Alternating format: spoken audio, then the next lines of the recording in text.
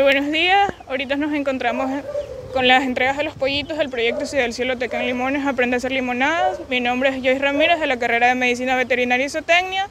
Nos encontramos ahora en, el en la Ciudadela Bosque, sector 5. En este caso estamos visitando lo que es la familia Machuca Morocho. Con el objetivo de aportar al desarrollo de la seguridad alimentaria, la Universidad Técnica de Machala entregó 100 pollitos de una semana a 20 familias de la capital orense el pasado 5 de febrero. Esto como parte del proyecto Si del cielo te caen limones, aprende a hacer limonada, el cual es liderado por el rector César Quesada Bad. Esmeralda Pimbosa, docente de la carrera de Medicina Veterinaria, fue la encargada de acompañar a los estudiantes en la entrega de pollitos. Señaló que después de esto, los estudiantes deben continuar con este proceso en asesoramiento de crías con las familias beneficiadas. Nosotros previo a e, entrega de los pollitos, eh, los estudiantes tienden a las familias, ya fueron censados los para, para las personas, tenemos sus eh, correos electrónicos, tenemos sus, este, sus teléfonos donde ya hicimos un grupo de WhatsApp donde los estamos eh, monitorizando tanto a, tanto los pollitos como a las personas ya que son pollitos que, que realmente necesitan de cuidado. En la entrega de pollos, los estudiantes fueron los encargados de detallar a las familias el cuidado de los mismos. Aquí está la fundita de balanceado, tiene ahorita que ponerles el agüita con un poquito de azúcar porque por el transporte están totalmente agitados y necesitan electrolitos.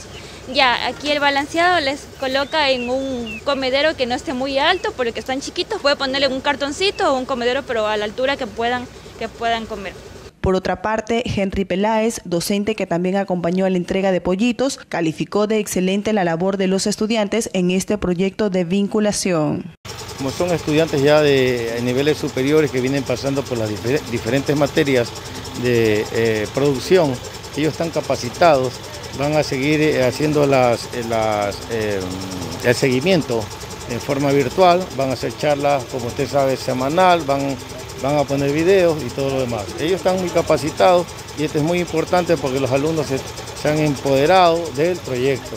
Las familias beneficiadas se mostraron alegres, expresaron sus agradecimientos a la comunidad universitaria y calificaron de importante la labor en beneficio de la sociedad.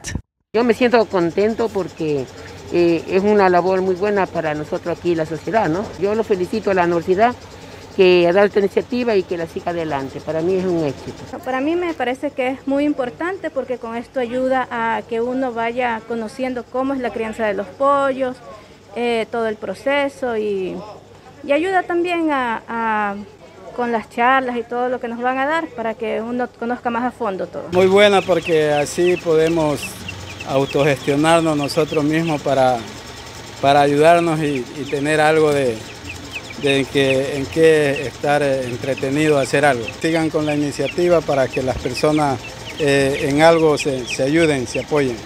La cría de pollos tras patio es practicada por muchas familias que la tienen para autoalimentación o como ingreso extra de dinero. Por eso es muy importante que la UTMACH entregue los especímenes y el asesoramiento técnico como respaldo a quienes emprenderán en esta actividad monitoreada por el grupo de trabajo universitario, manifestó la autoridad doctor César Quesada rector de la UTMACH. Karen Rubio, Radio Pública UTMACH.